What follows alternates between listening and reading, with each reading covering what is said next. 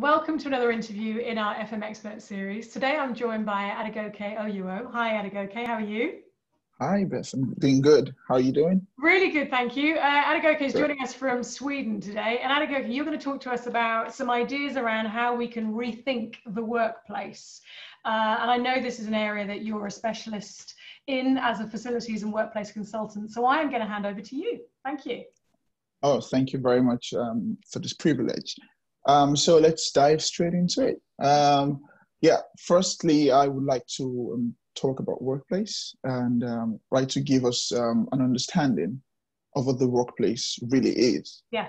And the way I like to explain what a workplace is, um, I never explain the workplace without mentioning the word ecosystem.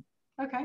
Uh, because um, for me, I see the workplace as an ecosystem that comprises of um, a careful balance of people, that's one process, um, place, and develop to support people and the nature of their work. Yeah. So um, it's very important to know that the workplace um, comprises of a lot of things and not just the the office. Yeah. So um, that's why um, we hear people saying things like the workplace is a journey and not just a destination. Yeah. So it's um, very, very um, important for us while talking about how to rethink the workplace. It's for us to go back to the drawing book and think about what is the workplace. Yeah. And um, so today, um, it's everything I'm going to say is going to be um, centered about um, around the workplace being a journey and not just a destination. Okay. So when we talk about yeah, cool. When we talk about the workplace, um, you know, we could say an office, um, and we can still talk about um, a workplace. So an office is a place where yeah, I do my job. Um, but the workplace um, is something much bigger than an office. So an office is the space where I do the work, but the workplace could be, um, you know, it could be the office, it could be wherever I feel like working on a particular day. You know, Oh, um, That's my bad. Sorry, I didn't turn my phone off. Apologies. Ignore me. no worries. So can we go on? yeah, please. Okay, cool. So that's it. So um, yeah, you know, rethinking rethinking the workplace. Um, you know, the organizational mindset of um, people um, of the organization needs to be changed. Um, and I think that's the starting point Yeah. um, for us in rethinking the workplace. Um, because right now, with the um, present pandemic going on, um, we can see that uh, the way of working for people has really evolved really fast. Um, flexibility is a very, very, very key word right now Yeah. because people want to be much more flexible with the way they work. Yeah. Um, people have um, recently found out that they prefer to be home, um, to spend three days at home or two days at home, and you know that's something that never happened before. No, no one ever talked about it No. um, for years. and to go? Okay, it's because there wasn't. I think a lot of the reason is there wasn't trust. You know, Mhm. there were so many organisations who didn't think people would be able to be effective.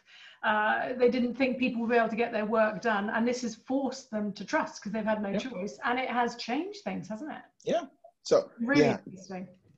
brilliant, and that's why um, we'll go into the opportunities Yeah. uh, that the pandemic has opened up for organizations and you know for works workplaces. And the first thing is trust. Yeah. Because right now we can see that um, um, line managers, um, bosses, and other people now begin to trust their employees um, to work um, by themselves, you know, with less supervision, because um, we can't really, you know, supervise someone working from wherever they're Yeah. working. So now the trust levels has really increased, and you know that's why a lot of people begin to say things like, um, "I feel more productive now because now I I feel more engaged. Um, I feel that um, whatever I do, my my line manager will be okay with it. You know, I don't really need to do um, things the way it was done before. And next thing will be um, user centricity and people centricity. So now rethinking the workplace and moving forward, um, we need to focus on people. And um, I think that's going to be something that's going to be very, very important um, moving forward because you want to bring people back to the workspace um, when the pandemic um, slows down or reduces to a very bare minimum. Um, and what's going to be very important are two, two things that's the well being of the employees Yeah. and the safety of the employee. of the employees. So I think that those two factors are going to be very, very, very, very important. Yeah. That's why it's going to be very important to um, focus on the well-being. When talking about the well-being, we want to know how people um, feel at work, um, and that's very important. So um, I would be saying that it's very important for us to put people first Yeah. in designing the next workspace because um, it's of a fact that the workspace and the workplace it's is really going to change um, after the pandemic. And a lot of organizations, I get calls from people um, talking about um, conversations like how do we want to, you know, prepare the workspace for people to come back, and it all comes to people, Yeah. you know, Yeah. because you you want to bring people back to the workspace. So how can we make them happier? How can we touch on their um, well-being in the workplace and not leaving out safety? Because um, there was a survey I I had a look at recently, and I saw that almost everyone was very um, concerned about their safety at the workplace. Yeah. So they're when the green lights, when I get the green light that everywhere is safe, I would come back to the workspace, to the workplace. So that's very important. And next thing, um, the office should be re- redesigned to be a destination where employees come to learn. One, exercise their cultural connections, um, where they can also innovate and also um, create new things. So um, the workplace won't just be a place where I have to go to every day. It's going to be a place where I feel I should be to be at the best of my job or the best of my work for a particular day. And I guess it's one of the places you go to, whereas Ex- before it was the only place. Exactly. Yeah. So it's it's not going to be a place I have to go every time, but I just need to go when I have to do some really special things um, that has to do with you know um, I need to learn from a, a colleague. I need to um, have a really really brainstorming um, um, session with a friend, you know, and I want to just connect with people. Yeah. So that's very important. This leads us to you know the workplace experience workplace experience. So you want to bring people back to the workspace. We want to redesign the workspace. You want to think about their experience in the works, workplace. Yeah. And that is a very, very key factor in rethinking the work workplace. And in creating a workplace experience, you know, um, that has a very good impact on employees. We also need to understand the needs of the employees. Now we want to know because um, you know it's a fact that the needs of people have changed Yeah. in the past four four months or five months. Um, so now we want to go back to them and say, okay, um, this is how the workplace was before. How do you want the workplace to be?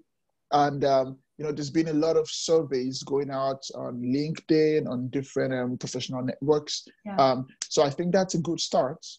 But organizations really need to understand what their people need.